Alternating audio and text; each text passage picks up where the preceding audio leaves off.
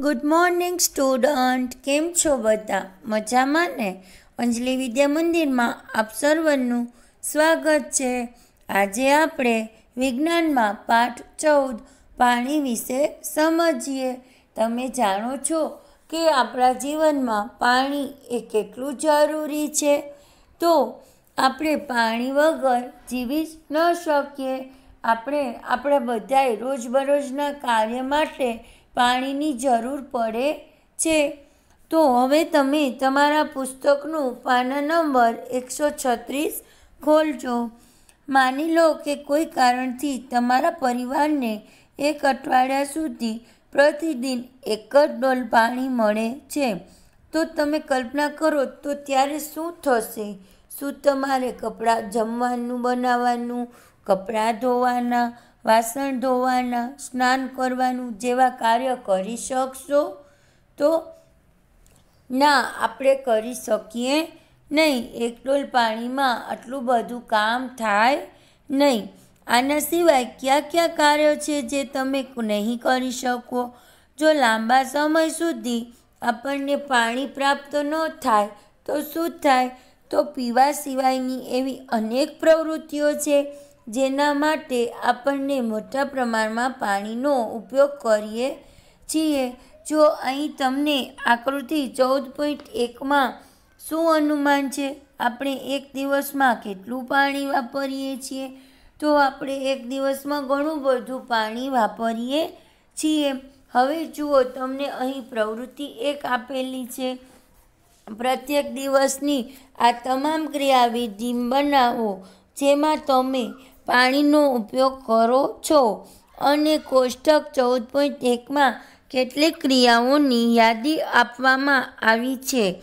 આ પ્રકારનું કોષ્ટક તમારે તમારી નોટબુકમાં બનાવવાનું છે. આખા દિવસમાં તમે તથા તમારા પરિવારના સદસ્યો દ્વારા પ્રત્યેક પ્રવૃત્તિઓમાં ઉપયોગમાં લેવાતો પાણીનો જથ્થો માપો.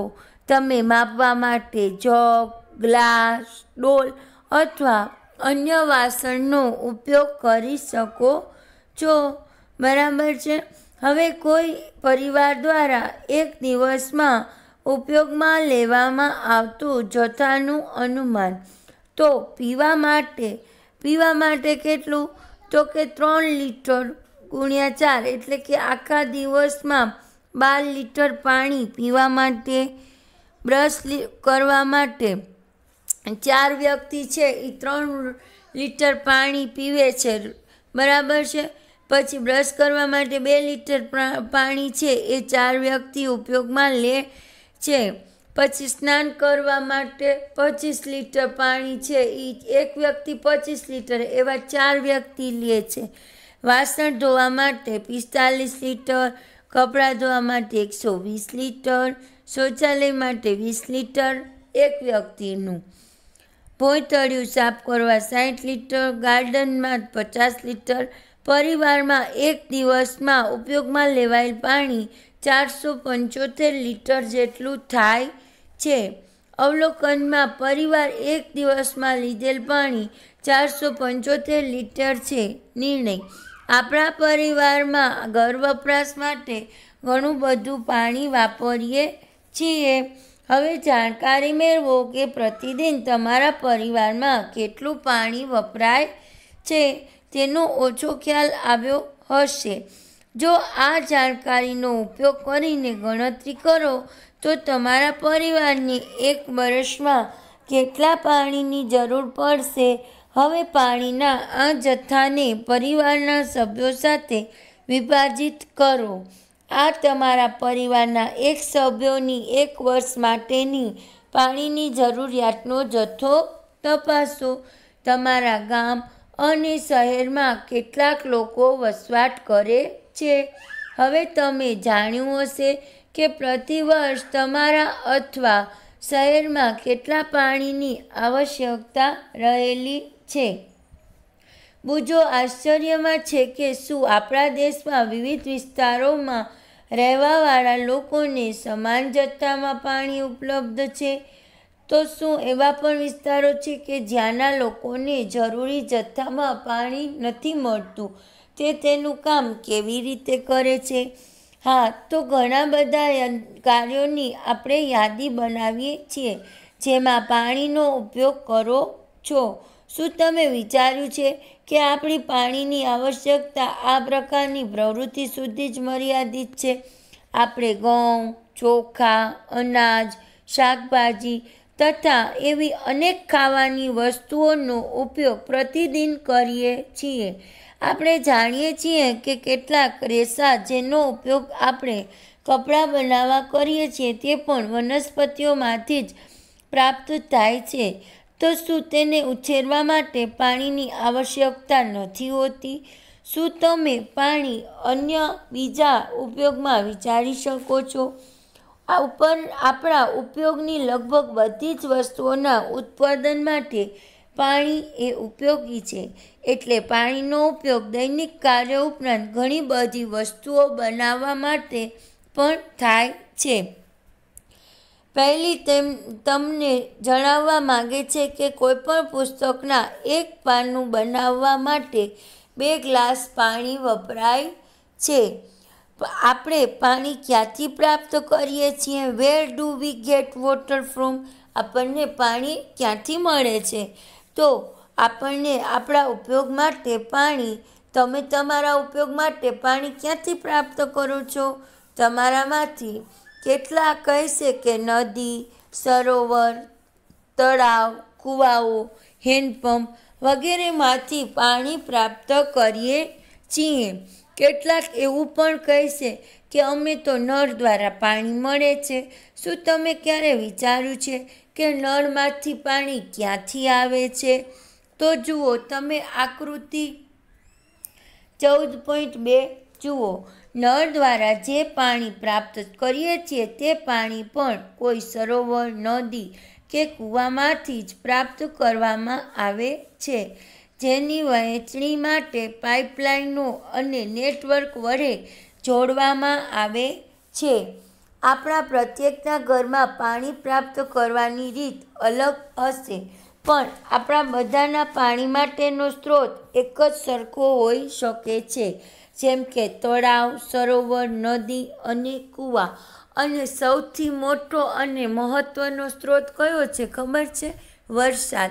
જ્યારે વરસાદ પડે છે, ત્યારે નદી, નાળા, તળાવ, કૂવા વગેરે જગ્યાએ પાણી ભરાય છે અને એ પાણીનો આપણે આખા વર્ષ દરમિયાન ઉપયોગ કરીએ છીએ. આપણી ચર્ચામાં આપણે કેટલાક પાણીના સ્ત્રોતનો ઉલ્લેખ કરેલો છે. આ તળાવો, નદી તથા સરોવર કૂવામાં ભરવા માટેનું પાણી ક્યાંથી આવે છે? બુજો ઈચ્છે છે કે તમે તમારા જીવનમાં કોઈ એવા દિવસની કલ્પના કરો જ્યારે તમારા ઘરે નળ દ્વારા પાણી મળવાનું નથી. આથી તમારે તમારા ઘરથી ઘણા દૂર જઈ અને પાણી લાવવું પડે છે. ત્યારે શું તમે પાણીમાં એટલો જ જથ્થો ઉપયોગ કરશો?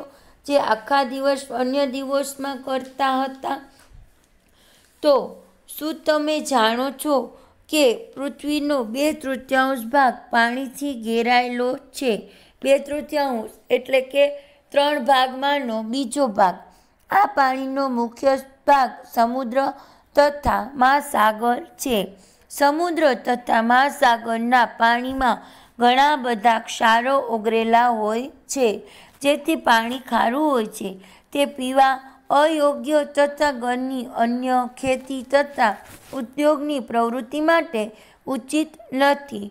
તમે કદાચ એસટી કોલેરિજ દ્વારા સત્તરસો અઠ્ઠાણુંમાં લખવામાં આવેલ કવિતા રાઇમ ઓફ ધ એન્ટ્રેશન મરીનરની આ પંક્તિ સાંભળી હશે.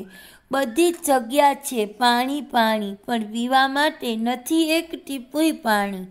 આનો અર્થ એમ થાય છે કે કવિએ મહાસાગરમાં ખોવાયેલા કોઈ જહાજના નાવિકની કરુણ ગાથાનો ઉલ્લેખ કર્યો છે કે જેની આજુબાજુ સતત ખૂબ જ પાણી રહેલું છે, છતાં પણ તેને પીવા માટે પાણી નથી. તો શું તમને આશ્ચર્ય લાગે છે કે આપણે જે પાણીનો ઉપયોગ લઈએ છીએ તે ખારું તો હોતું નથી? આપણામાંથી ઘણા બધા લોકો મહાસાગરથી અનેક દૂરના અંતરે રહે છે. શું આવા સ્થળો પર પાણીની પૂર્વતા મહાસાગર દ્વારા સંભવ છે? તો મહાસાગરનું પાણી એ તળાવ, સરોવર, નદી તથા કૂવા સુધી કેવી રીતે પહોંચે છે? જે આપણને પાણી પૂરું પાડે છે? આવું શા માટે છે? આ સ્ત્રોતનું પાણી ખારું નથી. આપણે તે સમજવા માટે જળચક્ર વિશે સમજીએ. જળચક્ર એટલે કે વોટર સાયકલ પાણી અદૃશ્ય થવાની યુક્તિ ડિસઅપિયરિંગ ટ્રીક ઓફ વોટર તમે કેટલીક વાર જોયું હશે કે જમીન પર પડેલું પાણી થોડા સમયમાં સુકાઈ જાય છે. આ પાણી અદૃશ્ય થતું દેખાય છે. આવી જ રીતે ભીના કપડાં સૂકવતી વખતે પાણી અદૃશ્ય થઈ જાય છે. આકૃતિ જુઓ તમે પેજ નંબર એકસો આડત્રીસ ઉપર ચૌદ પોઈન્ટ ચારની આકૃતિ જુઓ. વરસાદ પડ્યા પછી ભીના રસ્તાઓ, અગાસી તથા અન્ય સ્થાનો પરથી પણ પાણી અદૃશ્ય થઈ જાય છે. તો આ પાણી ક્યાં જાય છે? તો આપણને પ્રકરણ પાંચની પ્રવૃત્તિ છ યાદ કરીએ, જેમાં આપણે એ પાણીને ગરમ કરેલું જેમાં મીઠું હતું, પાણી વરાળ બની ગયું અને મીઠું રહી ગયું. આ પ્રવૃત્તિ પરથી આપણને જાણ થાય છે કે ગરમ કરવાથી પાણી વરાળમાં રૂપાંતર પામે છે અને આ પ્રવૃત્તિ પરથી આપણને એ પણ ખ્યાલ આવે છે કે પાણીની વરાળ પોતાની સાથે પાણીમાં રહેલા ક્ષારોનું વહન કરતી નથી. આ પ્રકારે બનેલી વરાળ વાયુઓનો એક ભાગ બની જાય છે, જેને પછી જોઈ શકાતી નથી.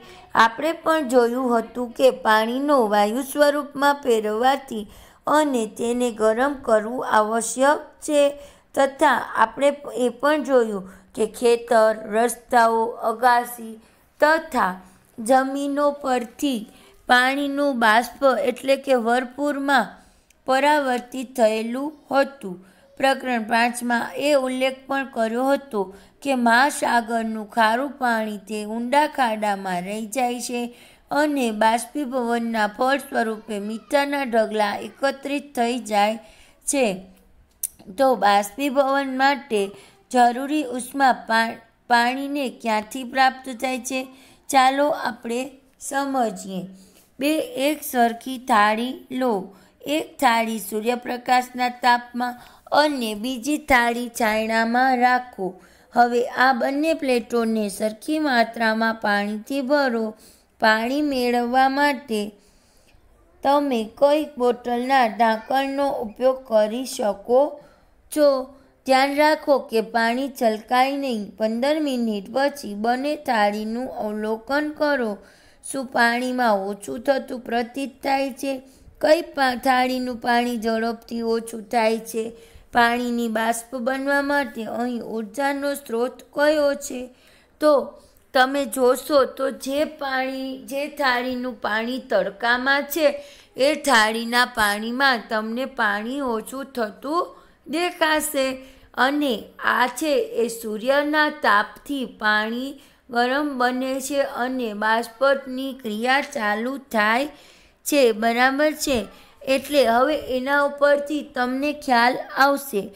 તો જુઓ, દિવસે સૂર્યના કિરણો મહાસાગરો, નદીઓ, સરોવર તથા તળાવમાં ભરેલા પાણીઓ પર પડે છે.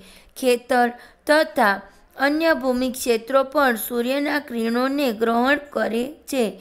તેના ફળ સ્વરૂપે આ બધાનું પાણી સતત બાષ્પમાં રૂપાંતર થતું રહે છે. તથા પાણીમાં ઓગળેલા ક્ષારો બચી જાય છે. પ્રવૃત્તિ બેમાં આપણે જોયું કે છાયડામાં રાખેલી પ્લેટોમાંથી પણ પાણી અદૃશ્ય થાય છે, પરંતુ તેમાં વધારે સમય લાગે છે. શું સૂર્યપ્રકાશની ઊર્જા ત્યાં પણ પહોંચે છે?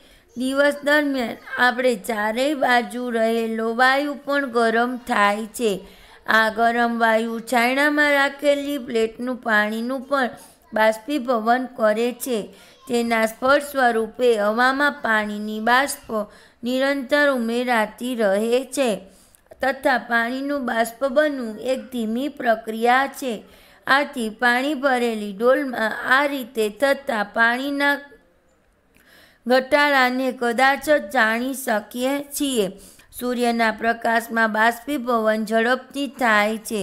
પાણીને કોઈ બર્નર પર કે ગરમ કરવાથી વરાળ ઝડપથી બને છે. શું એવી કોઈ અન્ય પ્રક્રિયા છે જેનાથી પાણીનું બાષ્પીભવન થાય છે? તો હા, વનસ્પતિ દ્વારા પાણીને ગુમાવવું loss of water by plants તમે સાતમા ધોરણમાં અભ્યાસ કર્યો કે આપણે બધી, તમે પ્રકરણ સાતમાં અભ્યાસ કર્યો કે બધી જ વનસ્પતિઓને વૃદ્ધિ માટે પાણીની આવશ્યકતા હોય છે. વનસ્પતિઓ આ પાણીની કેટલીક માત્રાનો ઉપયોગ પોતાનો ખોરાક બનાવવા માટે કરે છે. હવે જુઓ, અહીં બુજો જે વિચારે છે ને, એ આપણે સમજીએ. બુજો બાષ્પોત્સર્જન વિશે વાંચતા કહે છે તેણે સ્વયં પૂછ્યું કે એક કિલો ઘઉં ઉત્પન્ન કરવા ઘઉંની વનસ્પતિ કેટલું પાણીનું બાષ્પોત્સર્જન દ્વારા ગુમાવે છે? તેને જાણકારી મેળવી કે આ ઘટાડો લગભગ પાંચસો લીટર છે, જેમાં મોટી પચીસ ડોલ ભરાય તેટલું પાણી છે. શું હવે તમે કલ્પના કરી શકો છો કે જંગલો, પાક તથા ઘાસના મેદાનો દ્વારા કુલ મળીને કેટલું પાણી ગુમાવે છે?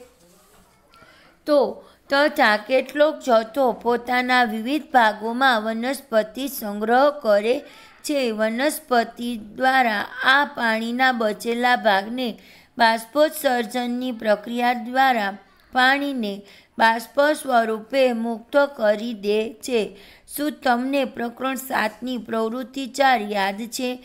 જેમાં તમે પર્ણો દ્વારા પાણીના ઉત્સ્વેદની પ્રક્રિયાનું અવલોકન કર્યું હતું. હવામાં પાણીની બાષ્પ એ બાષ્પીભવન તથા બાષ્પોસર્જનની ક્રિયા દરમિયાન ઉમેરાય છે. શું આ પાણી હંમેશા માટે લુપ્ત થઈ જાય છે? ના, આપણને પુનઃપ્રાપ્ત થઈ શકે છે. કઈ રીતે પુનઃપ્રાપ્ત થાય છે? તો કે વાદળ કઈ રીતે બને છે? હાઉ આર ક્લાઉડ્સ ફોર્મ વાદળ કઈ રીતે બને છે? તો જુઓ, આપણે અહીં પ્રવૃત્તિ ત્રણ જોઈએ. પાણીથી ભરેલા ગ્લાસ લો. તેમાં બહારથી સૂકા કપડાથી સાફ કરો. તેમાં બરફ નાખો. એક, બે મિનિટ સુધી. રાહ જુઓ. ગ્લાસની બહારની સપાટી પર પરાવર્તનોનું અવલોકન કરો. તો અવલોકન કરતાં તમને શું દેખાશે?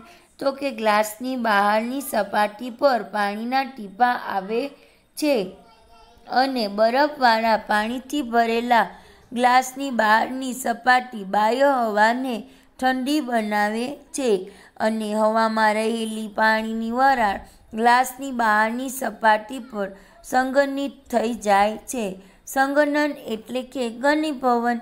આ ક્રિયાનું પ્રકરણ પાંચ પ્રવૃત્તિ સાતમાં આપણે અભ્યાસ કર્યો છે પાણીથી ભરેલા, જુઓ તમે એકસો ચાલીસ નંબરના પાના ઉપર તમે આકૃતિ જોઈ શકો છો. પહેલાં શિયાળામાં સવારે ઘાસ ઉપર ઝાકળના બૂંદો એટલે કે ટીપા જોયા હતા.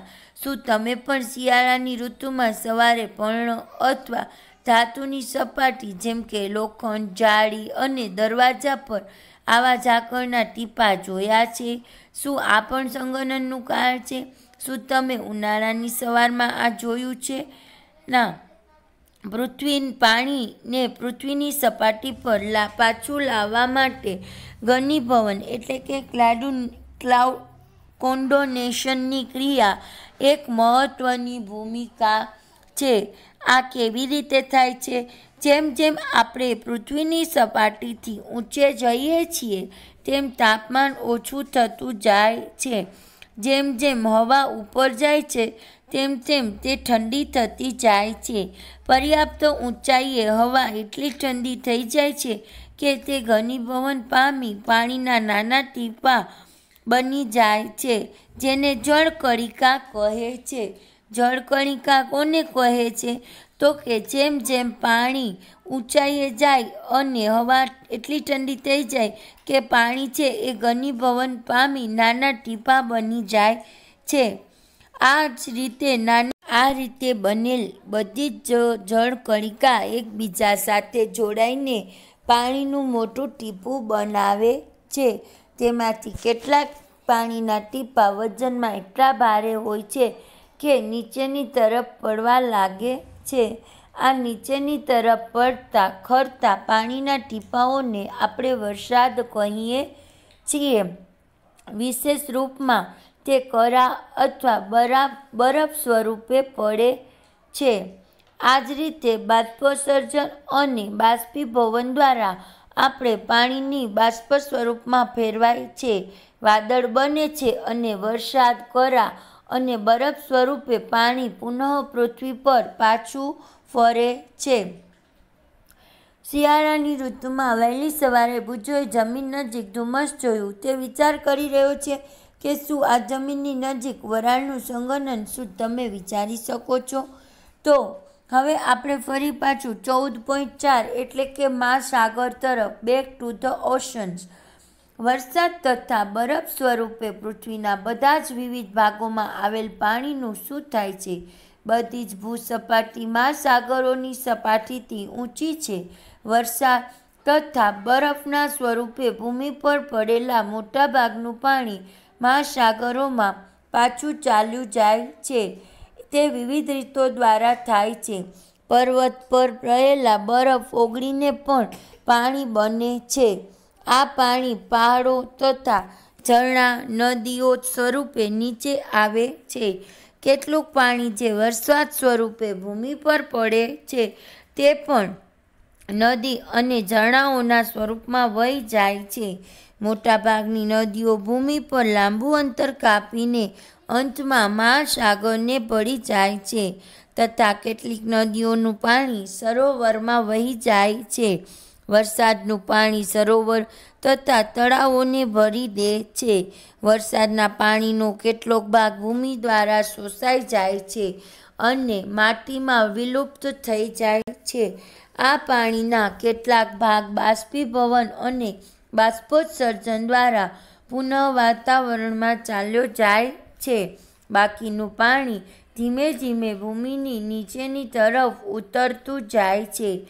આ પાણીમાંથી મોટાભાગનું પાણી આપણને ભૂગર્ભ જળ સ્વરૂપે પ્રાપ્ત થાય છે. બાળકો, જ્યારે તમને ખબર હોય તો અત્યારે બધાના ઘરે ડીપવેલ આવી જ ગઈ છે. તો જ્યારે એ ખૂબ જમીનને ખૂબ ઊંડે સુધી ખોદે છો, તો આપણે એમ કહીએ કે પાણી નીકળ્યું, બરાબર? તો જમીનમાંથી આપણે જે વરસાદ દ્વારા પાણી પડ્યું હોય અને જે પાણી જમીને શોષેલું હોય એ પાણી આપણને મળે છે. કૂવો છે તો કૂવો પણ તેનું જ ઉદાહરણ છે કે જમીનને ખોદવામાં આવે તો અમુક અંતર પછી તેમાં પાણી મળે છે. તો જો આપણે જોઈએ, કૂવાઓનું ભરણ એ ભૂમિજળ દ્વારા થાય છે. આ પ્રકારે કેટલાક સરોવરનો પાણીનો સ્ત્રોત એ ભૂગર્ભ જળ છે. હેન્ડપંપ તથા બોર કૂવા દ્વારા ખેંચાયેલ પાણીનું આપણને ખેંચાયેલ પાણી એ જગ્યાએથી જ અને વધારે હેન્ડપંપ અથવા બોર કૂવા હોય છે. આવી જગ્યાને ભૂગર્ભ જળ પ્રાપ્ત કરવા માટે ઊંડાઈ સુધી ખોદકામ કરવું પડે છે. પહેલી એક ચિંતાને તમારી પાસે રજૂ કરવા માગે છે. આવા વિસ્તારોમાં જ્યાં વનસ્પતિઓની સંખ્યા ઓછી છે અથવા બિલકુલ નથી, તેવા વનસ્પત વિસ્તારોમાં વરસાદનું પાણી ઝડપથી વહી જાય છે. ઘણા બધા એવા વિસ્તારો છે જ્યાં જમીન કોન્ક્રીટથી ઢંકાયેલી હોય છે. આવી જમીનમાં પાણીનું ઉતરણ ઘણું ઓછું થાય છે, જેનાથી ભૂગર્ભ જળની ઉપલબ્ધિ ઓછી થાય છે. વરસાદ વહેતા પાણી સાથે જમીનનું ઉપરનું પડ પણ તણાઈ જાય છે. હવે વધારે પડતા ઉપયોગથી ભૂગર્ભ જળમાં થતો ઘટાડો એક ચિંતાનો વિષય છે. આપણે જે આડેધડ પાણીનો ઉપયોગ કરીએ છીએ, બરાબર છે? તો એમાં કેટલી બધી મુશ્કેલીઓ થાય છે. જો પાણી ન થાય, મળે તો આપણને શું થશે? હવે આપણે આગળ વિચારીએ, જોઈએ. છીએ કે જમીનની સપાટી પર રહેલ વરસાદરૂપી પાણી મહાસાગરમાં પાછું પહોંચી જાય છે. આ પ્રકારે પૃથ્વીની ઉપરની સપાટીથી બાષ્પ સ્વરૂપે વાતાવરણમાં જાય છે. પાણીમાં વરસાદ, કરા અને બરફના સ્વરૂપે પુનઃ આવે છે અને અંતમાં મહાસાગરે પહોંચે છે. પાણીના આ પ્રકારના ચક્રને જળચક્ર કહે છે. બાળકો, તમને પૂછવામાં આવે કે જળચક્ર કોને કહે છે? તો કે જે પાણી સમુદ્ર અને મહાસાગરો, નદી નાળાઓનું પાણી છે, એ સૂર્યપ્રકાશની મદદથી ગરમ થઈ અને બાષ્પીભવન એટલે કે બાષ્પોત્સર્જન દ્વારા પાછું આકાશમાં વાદળ સ્વરૂપે જાય છે અને એ વાદળ સ્વરૂપે એ પાણી વરસે છે અને એ પાછું પૃથ્વી પર આવે છે. આ રીતે જે ફરે છે તો એને આપણે જળચક્ર કહીએ છીએ. સમુદ્ર તથા જમીનની વચ્ચે આ જળચક્ર નિરંતર પ્રક્રિયા છે. આ જમીન પર પાણીની જરૂરિયાતને જાળવી રાખે છે. જો વરસાદ વધુ પડે તો શું થાય? What if it's rain heavy વધુ વરસાદ પડે તો શું થાય છે? તો તમને ખબર જ છે કે જો વધુ વરસાદ પડે, બરાબર છે? તો પૂર આવવું, બરાબર? પૂર આવી જાય. એટલે કે નદી નાળાઓમાં પાણી વધી જાય છે. એ ઉપરાંત લીલો દુકાળ એટલે કે પાકને પણ અતિવૃષ્ટિ, ખૂબ જ વરસાદ થવાથી ખેતીમાં વનસ્પતિઓ અને પાકને પણ નુકસાન થાય છે. તો હવે એના માટે આપણે સમજીએ. વરસાદનો સમય, અવધિ તથા માત્રા વિવિધ સ્થળોએ જુદી જુદી હોય છે વિશ્વના કેટલાક ભાગોમાં સમગ્ર વર્ષ દરમિયાન વરસાદ પડે છે. જ્યારે એવા પણ સ્થાન છે કે જ્યાં વરસાદ કેટલાક દિવસો માટે જ માત્ર પડે છે. આપણા દેશમાં મુખ્યત્વે વરસાદ ચોમાસામાં પડે છે. મુખ્યત્વે ઉનાળાના ગરમ દિવસો પછી વરસાદ આપણને રાહત પહોંચાડે છે. મોટાભાગની પાકની રોપણીનો આધાર પણ વરસાદ પર જ રાખે છે. પરંતુ અત્યંત વધારે વરસાદથી ઘણી બધી સમસ્યાઓ ઉત્પન્ન થાય છે. ભારે વરસાદથી નદીઓ, સરોવર તથા તળાવોમાં જળ સ્તર વધી જાય છે. તેવું થવાથી પાણી એક મોટા વિસ્તારમાં ફેલાઈને પૂરમાં પરિણમે છે. જે ખેતરો, જંગલો, ગામડાઓ અને શહેરોને પાણીથી ડૂબાડી શકે છે. જુઓ તમે આકૃતિ ચૌદ પોઈન્ટ અગિયાર. આપણા દેશમાં પૂરથી પાક, પાલતુ પ્રાણીઓ, સંપત્તિ અને માનવ જીવનને નુકસાન થાય છે. પૂરના સમયે પાણીમાં રહેવાવાળા સજીવો પણ તણાઈ જાય છે. પછી જ્યારે પૂરનું પાણી ઓછું થાય છે, તે પાણીમાં રહેવાવાળા સજીવો જમીનના ભાગો પર ફસાય અને મૃત્યુ પામે છે. વરસાદ જમીન પર રહેવાવાળા સજીવો પર પણ અસર કરે છે.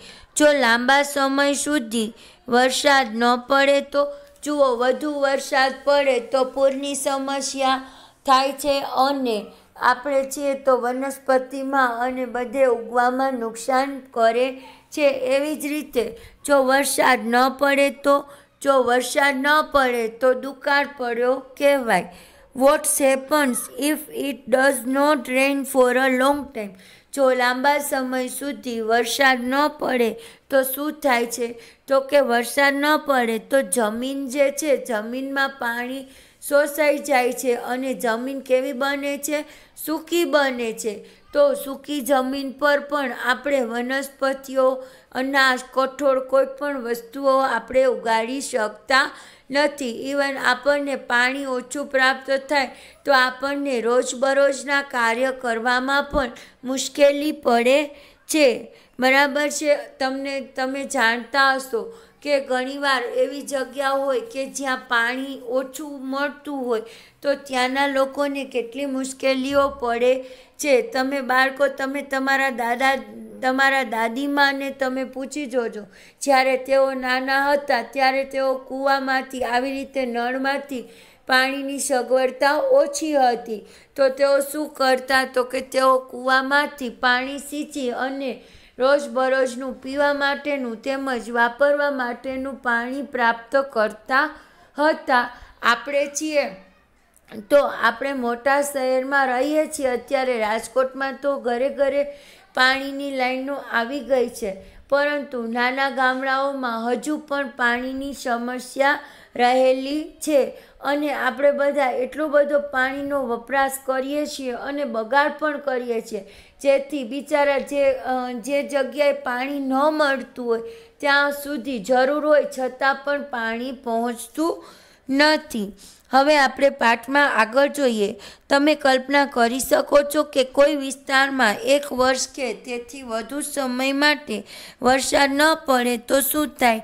તો બાષ્પોત્સર્જન તથા બાષ્પીભવન દ્વારા જમીનમાંથી સતત પાણીની ઘટ થાય છે કારણ કે તે વરસાદ સ્વરૂપે પાછું પડતું નથી.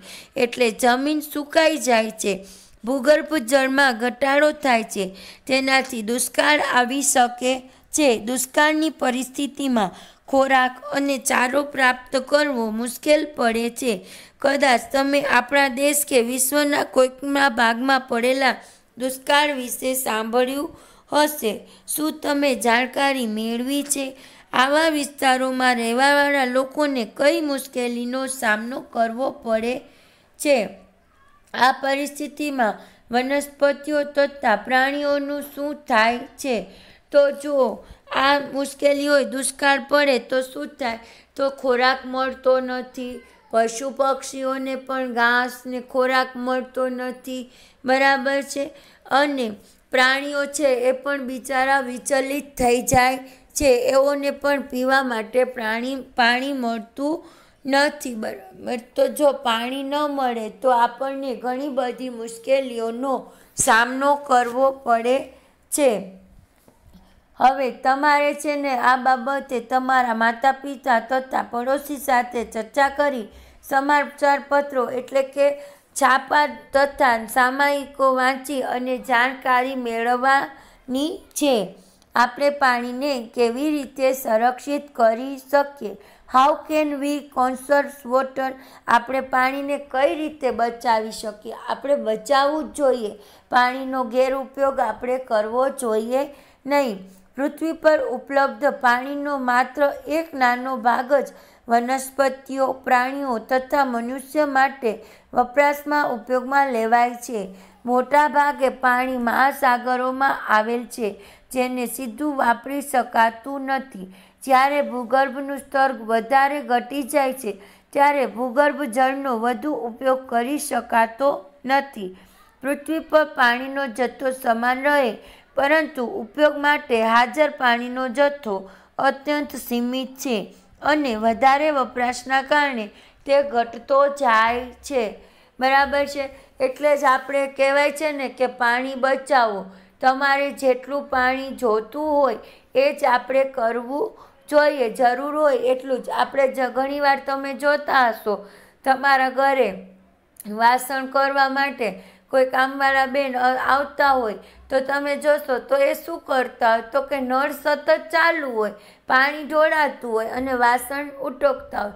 તો છે તો એ જે વધારાનું પાણી જે બગાડ થાય છે, એ બગાડ આપણે અટકાવવો જોઈએ. આપણે થોડા પાણીમાં પણ સારી રીતે કામ કરવું જોઈએ, એ જ રીતે જ્યારે ઘણીવાર તમે જોશો તો તમે બ્રશ કરતા હો તો ગેંડીમાં નળ ચાલુ જ પડ્યો હોય.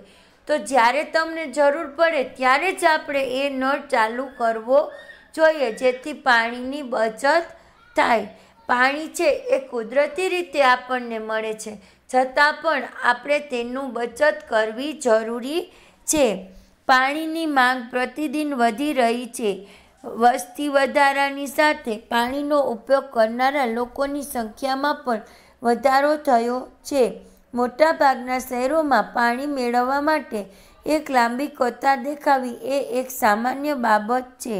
જો આકૃતિ ચૌદ પોઈન્ટ બારમાં પાણી ભરવા માટે લાંબી કતારો દેખાય છે, ખાવાની વસ્તુઓના ઉત્પાદન તથા ઉદ્યોગોમાં પણ પાણીનો વધારે જથ્થાનો ઉપયોગ થઈ રહ્યો છે આવા જ કારણોથી વિશ્વના મોટા ભાગમાં પાણીની ઘટ થઈ રહી છે.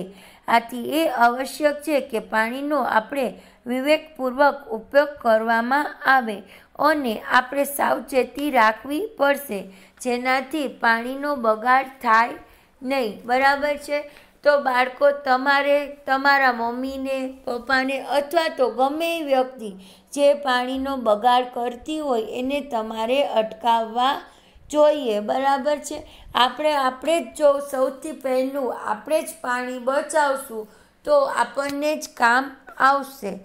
બરાબર છે? એટલે આપણે પાણીનો વિવેકપૂર્વક ઉપયોગ કરવો જોઈએ. હવે આગળ જોઈએ. વરસાદી પાણીનો સંગ્રહ રેઇન વોટર હાર્વેસ્ટિંગ વરસાદના પાણીનો સંગ્રહ કરવો તથા તેનું સંગ્રહણ કરી પછી તેનો ઉપયોગ કરવો. પાણીની ઉપલબ્ધતામાં વધારો કરવો એ એક સારો ઉપાય છે. આ ઉપાય વરસાદના પાણીને એકત્રિત કરવાને વરસાદી પાણી સંગ્રહ કહે છે. વરસાદી પાણી સંગ્રહનો મુખ્ય હેતુ એ છે કે પાણી જ્યાં પડે ત્યાં જ એકત્રિત થઈ જાય. એવા વિસ્તારોમાં પડે જ્યાં મોટે ભાગે કોંક્રીટના રસ્તાઓ અને મકાન હોય તે નાળાઓમાં વહી જાય છે. ખરું ને? આ પ્રકારે વરસાદના પાણીનો કેટલોક ભાગ વહીને નદી અથવા સરોવર સુધી પહોંચી જાય છે, જે અત્યંત દૂર હોય છે. પાણી જમીનમાં ન ઉતર્યું હોવાથી પાણીને ઘરોમાં પાછું લાવવા માટે ખૂબ જ પ્રયાસ કરવા પડે છે. વરસાદના પાણીના સંગ્રહની બે રીતોનો ઉલ્લેખ કરવામાં આવ્યો છે.